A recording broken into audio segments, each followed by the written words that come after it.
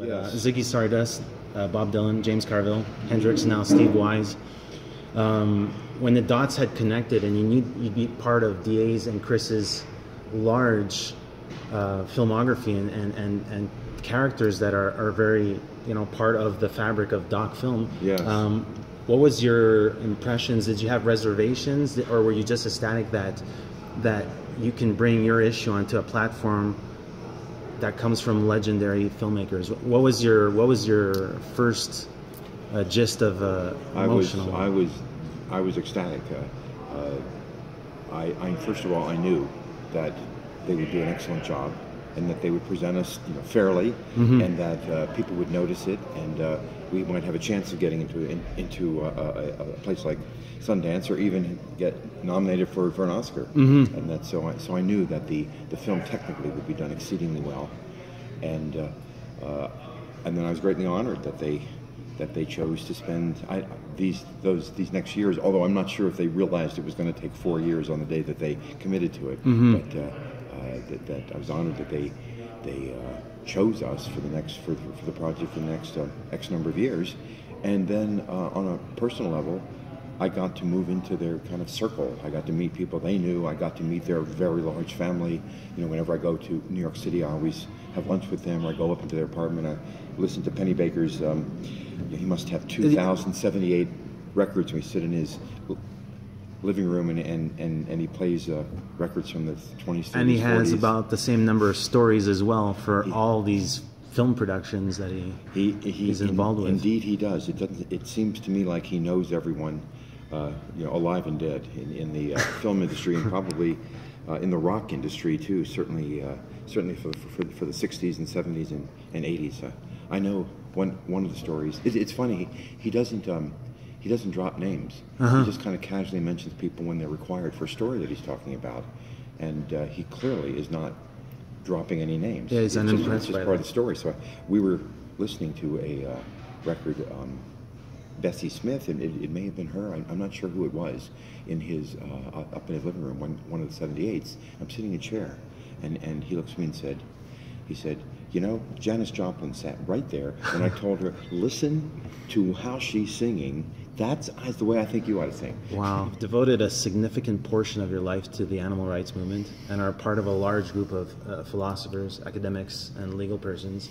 Uh, people that are very important to as agents of change. Um, when making a doc film, you want your protagonist to wear his colors and be be super bright. And, and if I'm comparing you to all their other doc subjects, you're perhaps the most um, humble and the most uh, grounded individual of, of them all.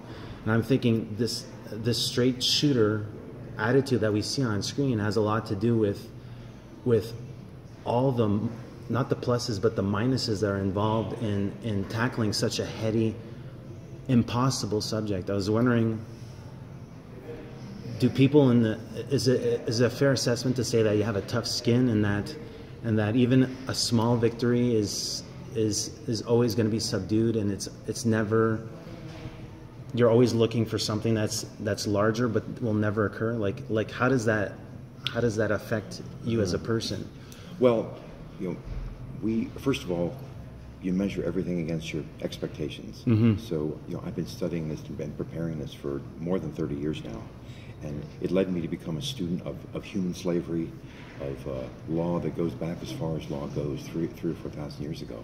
And so, I've always been fully cognizant of how difficult the task is that that we have, and how it's unlikely we're going to win the whole shebang, but we and what we're looking e- easily or even early. And we look to try to win a piece here, a piece here, a piece here, a piece here, and then keep putting them together, and then keep trying to um, churn out or turn out, you know, the best possible you know, product that we can, the best affidavits we can, the best arguments we can, and uh, we we do feel good when the judges say from the bench, you, you, we don't agree with you, but boy, your memos, your affidavits are really super. And, and, and we know they are, and we know, we know that we're writing just not for us and just not for the court, we're writing for history.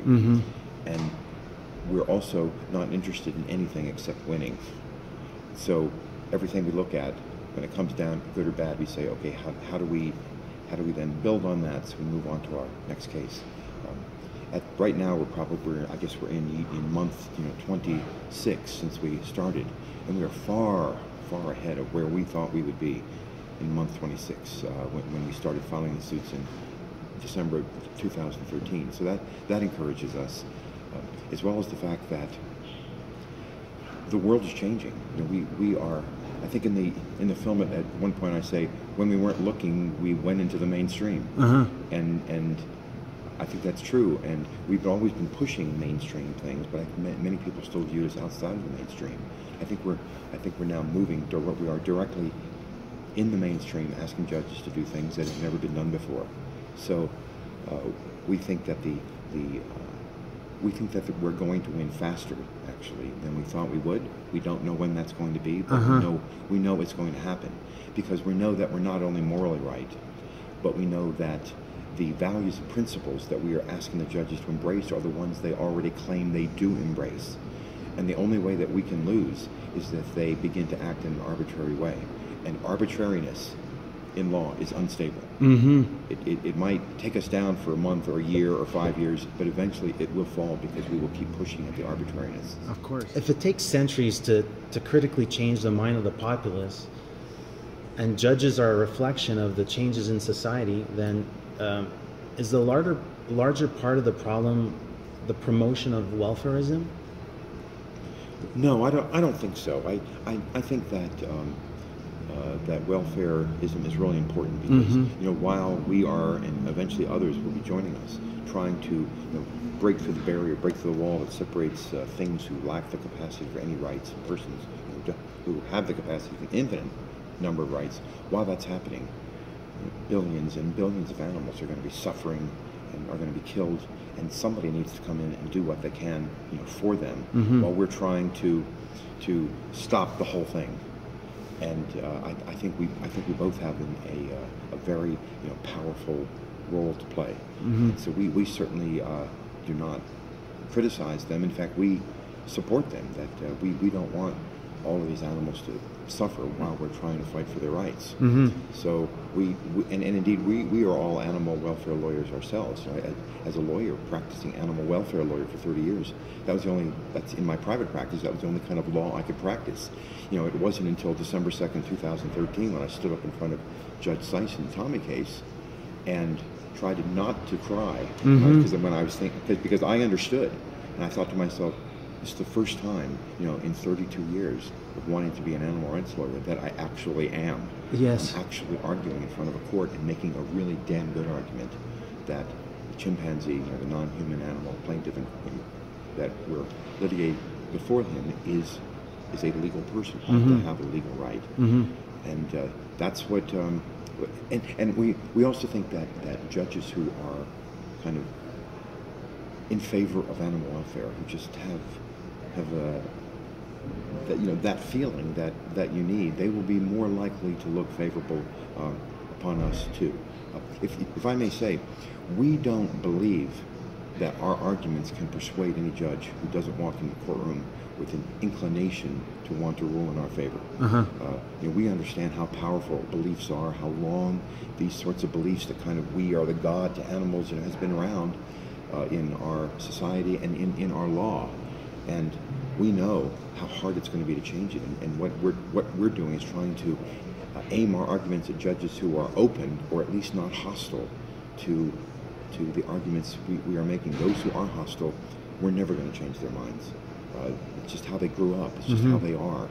Um, and when you read about the history of, of the abolitionist movement, uh, and you look at the judicial decisions, you'll, you'll know what I'm talking about. Uh-huh.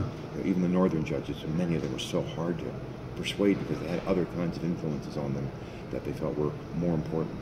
But the ones who are who are at least open to, to the arguments, or may even be uh, inclined to view us favorably because of the way they feel about non-human animals, uh, they are the ones who are the real targets of our, our arguments. Uh-huh. The legal history, say, around dogs is very different than the legal history around cows, and very different in the legal history around uh, chimpanzees or elephants. And Uh-huh. there are just certain obstacles to bring, bringing a, a common law habeas corpus case on, on behalf of dog that don't exist for chimpanzees.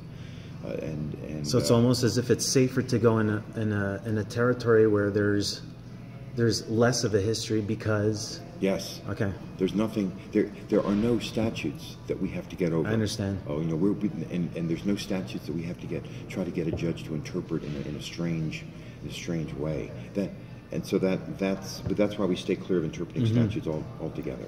Uh, when watching the, the, the courtroom back and forths, and ultimately, uh, we, we, we spent a lot of time with you and, and your group of people waiting for decisions. Um, it's almost like coming to a card game, knowing the rules of poker, and then they tell you at the last minute that you're going to play bridge or maybe even uh, go fish.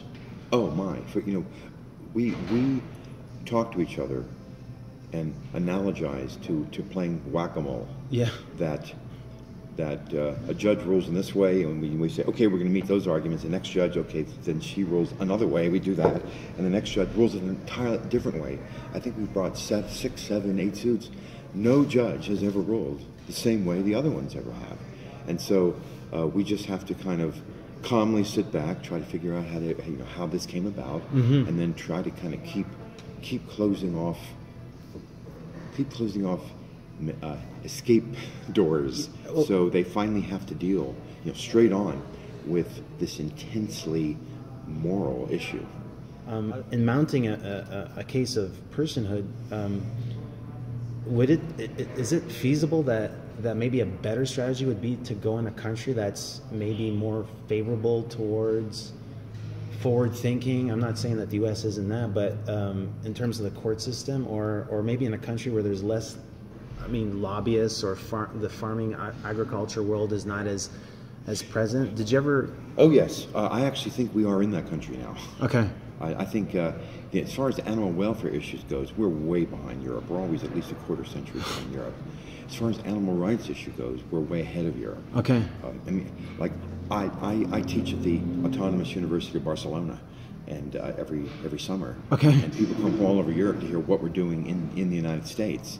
Um, I just came back uh, uh, speaking to the Lisbon, Portugal Police Department, you know, about what, what we're doing. We're working with the Green Party in France. We're working with, with Really? legal organizations in England, in Australia, in Argentina. Okay. And uh, I still think that we're ahead of all of them. And uh, our, our arguments are, but but our arguments are, are crafted for common law English-speaking countries. Mm-hmm. And so, when we go, especially go to a non-English speaking civil law country, mm-hmm. and we don't say that we know what to do. We can say we can try to help you figure out what's the best way for you to proceed. It might be through the legislature, say in Argentina or Switzerland or France, uh-huh. rather. But but we we have learned a lot, and uh, we we're with you to try to guide you if you think you need our guidance.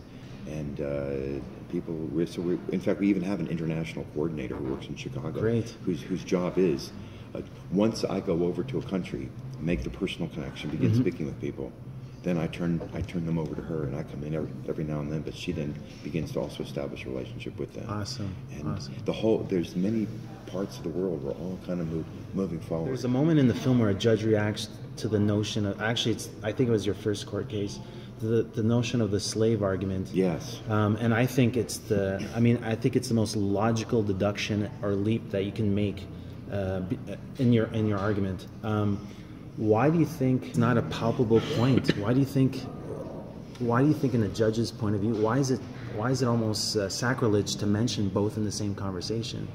I, I- think it has to do with, with who the judges are. Notice none of them are black judges. None of them are judges of color. They're all white judges. Um, uh, but and we we are actually have reached out and are beginning to work with um, academics and and law professors of color to try to who are already writing in the intersection between you know our work and slavery. Um, we we talk a lot about what that problem is and, and, and how to deal with it because there's really two issues. One, as I tried to explain to the judge before she keeps cutting me off, um, uh, it, is that in the Anglo-American system, you look to precedent, and so we're one of the few professions where where something that happened in the past is important just because it happened in the past. Mm-hmm. Whether it's right or wrong today, you still have to begin dealing with something that happened in, in the past. So every time a common law lawyer arguing under the common law is making an argument, we argue by analogy. whether that's the re- someone like Judge Posner, for example, of the Seventh Circuit, is thinks that legal reasoning is really bogus. The whole thing is, but he's just in the Seventh Circuit. He's all by himself. And but mostly, judges, you know, common law judges begin by looking at what's happened in the past. Mm-hmm. So, we are the first lawyers trying to to apply the common law to non-human animals. We have to analogize the past. The, the, the past includes 100% human beings. So we have to analogize to cases involving human beings, or we have no one to anal- we have nothing to analogize to uh, at, at all. So, uh, plus, as I point out in, in the movie, the Somerset case, where James Somerset was a slave uh, who, who uh, you know, won a lawsuit in 1772 in London. In fact, I wrote an entire book about it called "Though the Heavens May Fall," which was really a um, uh, a blueprint for what we intended to do. And as I point out in court, in 1775, New York State, when it when it let it severed ties with England, brought the common law of England into its own law. So the Somerset case is actually also the law of the state of New York. Mm-hmm. So we we we make those kinds of analogies because they're they're very very powerful. They, they involve the uses of the common law writ of habeas corpus, and uh, I, I think it's it's erroneous for the judges to to somehow think that uh, that it's off limits. Who are we supposed to analogize to? Um, also, uh, it's you know, it, it's clear that we're not making, we're, we're, as we try to say, we're not saying that non-human animals are like black people. It, it's ridiculous. The- so far, the only people who have made that comparison are these kind of these two judges, the National Review and the New York Post. You know, neither of which are major, you know, civil rights kinds of, of people. They see it as a way of bludgeoning us because uh, uh, because they really they don't want rights for non-humans. They're not particularly interested in rights for lot, lots of humans either. And so we just kind of push forward. And within our organization, we, we have a debate as to how to handle that. And we haven't yet completely agreed. You know, but what I tend to say is, or, or think, is when judges say that, you know, I want to try to very politely continue to press the point because the non-human animals are things they are slaves whether you like it or not they are slaves. And so i think part of the problem could be that, that these judges feel that if they if they are forced to believe that the non-human animals we are representing are slaves then they're going to be forced to rule in our in our favor mm-hmm. so they'd much rather not think of them as slaves think of them as some kind of other that allows them to make some kind of this arbitrary distinction Yeah. and it makes them happier. But I think our job is to, is to is to really set off the cognitive dissonance that, that that's kind of inherent in that kind of thinking. They are slaves. Now you may say, okay, these kinds of slaves we're gonna we're gonna unenslave, and these kind of slaves we're gonna let rot for the rest of their lives. Well, then be intellectually honest to come out and say that, so we all know what we're talking about. Uh, don't just say, I don't I don't want to hear this. Um, your job is to really hear it Yes, and uh, and we're, we're having we're having a rational argument here, and not when we say something that that offends you, you're then you're supposed to you're not supposed to shut us off because you feel offended. the philosophical spectrum. Peter Singer's Animal Liberation. Yes. Um, first of all, he's an in, a huge influential figure, and he's still being referenced, uh, part of a larger this larger discourse for animal rights and ethics. Yes. And but 40 years later, how do you view his text, its relevance, and do you find it's outdated or or dated?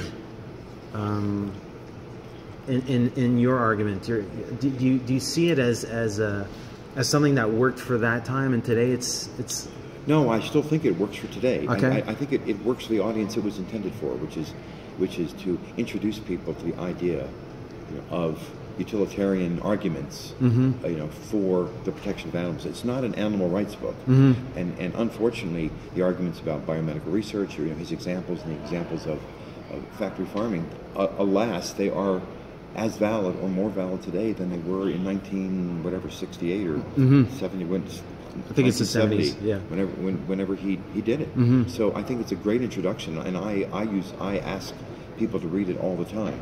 I don't think it was ever intended to be a legal legal argument, Mm-hmm, and uh, we don't make utilitarian legal arguments because judges. The reason we don't make them is that we only make the arguments that that that implicate the values that judges themselves claim they hold. Mm-hmm. They do not claim to hold these kinds of utilitarian values. Of course. They claim to hold deontological values that when we talk about fundamental rights, no one talks about balancing pains and pleasures. You know, I have a certain right not to be tortured, you know, no matter what the consequences are. You can't torture me. And If you do, you're violating domestic law and international law. Uh, it's not a matter of saying if I torture you, you'll feel really, really bad, but, but a lot of other good things will happen. That's not the kind of arguments that course. judges will buy. Now, utilitarian philosophers think that that's what's morally right, and you know we always have to remind each other that what's morally right and what's legally right may or may not have anything to do with each other. To pick this off the street. It al- almost tear down, but um, there, this is the poster art for um, Unlocking Yes. the Cage. Um, HBO is releasing it. Yes. Um, I believe this summer. Poster. Oh my God. It's a great poster, but my question is, um, is uh, it's almost science fiction because as much as I would love to see this the ape sitting, chimpanzee sitting. exactly, do- Yes. do, you ever think in your lifetime, or perhaps in my lifetime, a little bit younger than you, that we'll ever see a Tommy in in a court system? No, no, I, we, we wouldn't. Uh, we, we would never consider bringing a chimpanzee in, in, in, into a court.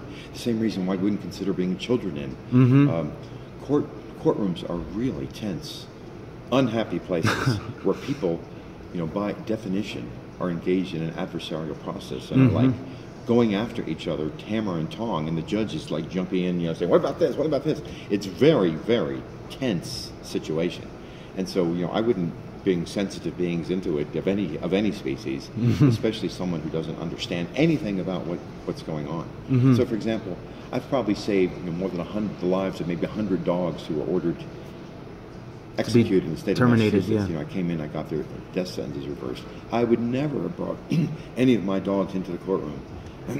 Who knows what they're going to do? Yeah, they're yeah. dogs. Yeah. You know, and they're chimpanzees. Yeah. And so, I would, we would consider, and I have asked for a judge to take a view, which is to look. You go to them Mm-hmm. and look at whatever you want want to do. So far, I don't think any judge has ever taken me up on taking a view. Um, sometimes we think of um, you know having chimpanzees, for example, show how they can communicate that that sort of thing. But I, I think that, and, and we're about to get much deeper into that. But I think we'll we will start going with videos first and, and try to get really professionally done videos that we can attach to affidavits. Okay. Uh, that will will show that to the judges. But um, uh, I don't. You know, chimpanzees are very strong, Yeah, no. and uh, and they don't understand what's going on. I remember when, when I, I was um, tracking chimpanzees up in the Kibale Mountains in Uganda. Okay. And um, we were sitting there, you know, on, on a path, and a, and a band of chimpanzees like walk in front of us, like they're you know they're a foot and a half away, and the anthropo- anthropologist who, who was with us says, you know, look humble, put your eyes down. And I said, I don't need to look humble. You know, I know he can like rip my rip my arm off. Yeah. And so I did. I really I felt I was in their world, and I wanted to make sure that I didn't do anything that upset them. Uh, and, and so I, I can imagine what it must be like for them to come into in, into our world, and they don't have other chimpanzees explain to them what, what's going on.